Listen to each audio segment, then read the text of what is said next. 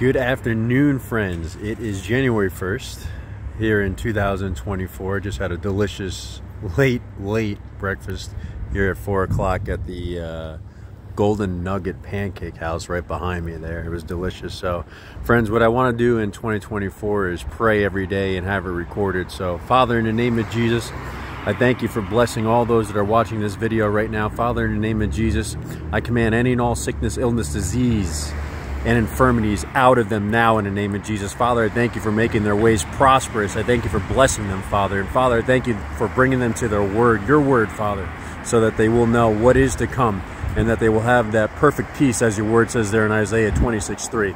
Thank you, Father. It is so in the name of Jesus. All right, my friends, I want to wish you again that blessed, happy new year, that it will be prosperous for you. And I love you so much, and so does our Lord. God bless.